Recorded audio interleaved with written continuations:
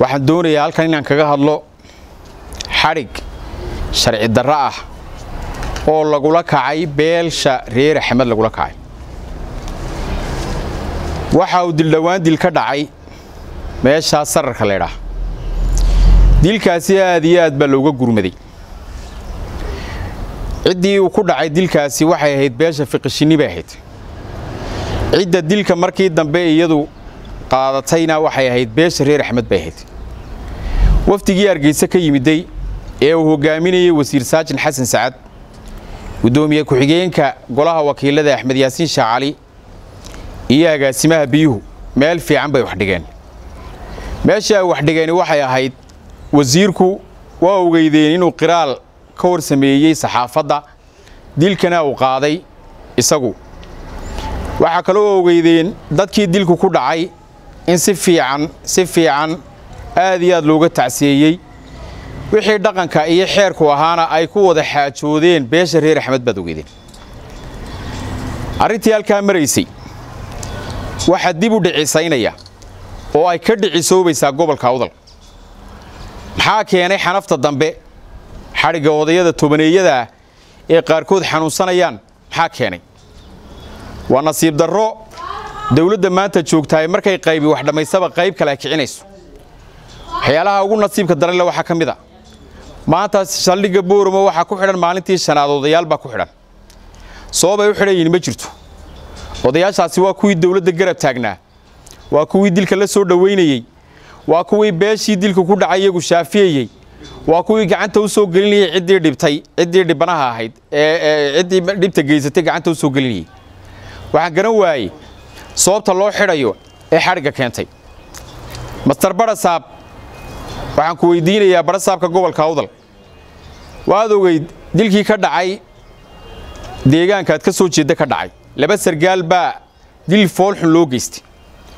Oo weliba maad moodaysay in loo heshiiyey oo muddo intaa leegleeryanayey oo masaafad intaa leegleeryanayey su'aashaan ku weydiinayaa waxay tahay koob iyo toban oday oo dhafoora oo habar jecla ah maad u soo xidhay dilkaa adaa ka jawaabi doona. Haddaad u soo maanta u xidhan yihiin. Haddii cid qaadatay la tusay. Gobolkaad xakunto dadkii ka soo jeeday bay ahaayeen.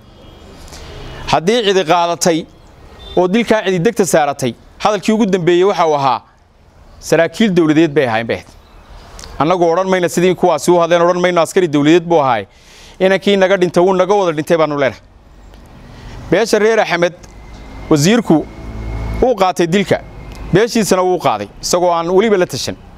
Anigu dad badan baa ka soo horjeeday oo darafu dawlo ahaa.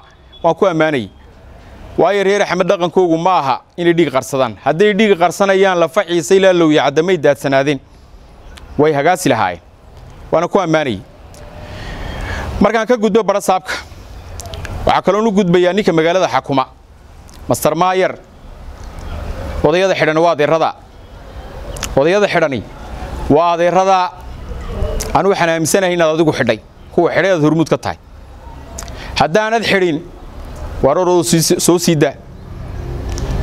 Orodoo soo sii daa. Wax dembi oo galan iyagu ma jiro. Haddaad soo sii kari weyday waa rooble iyo mooge iyo maxamed gadhle iyo barkhadba way xanuunsanayaane soo damiin. Haddaad soo damiini kari weyday waar iscasil waxaad cunto waayi maysid inaadire iscasil baan ku leehanu si adiga halkaa kuu dhaafi maayo waxaa kaloon ugu baaqayaa inta nabadda jecel inta wanaagga jecel inta isku soo dhowaynta jecel hawshii halkaa wafdigu ku dhammeeyeen ee gebagabada ahayd ciddii gacan siin lahayd waxaa wiiqaya maanta maamulka degmada iyo ka gobolka. Oo ka faa'iidaysanaya hadalkii wasiir saajin waxaananu u aragnaa aargoosi siyaasadeed inay odayadaas ku xidhan yihiin baanu u aragnaa. Uma aragno inay u xidhan yihiin cid ciddii dilku na kala gaadhay. Waxaana dhex maray wadahadal. Waxaana dhex maray isafgarad fiican. Waannu ka xunnahay. Aad baannu uga tacsaynaynaa. In mar horena waannu ka tacsayna annagoo xisbigaa maantana waannu ka tacsaynaynaa. Laakiinse waxa mijaxaabinaya maamulka gobolka iyo degmada iyagoo ka faa'iidaysanaya waadhiye saxaafadda uu ka lahaa wasiirku. Wasiirkuse wax fiican buu ka tegey. Intaasaa ku soo koobaya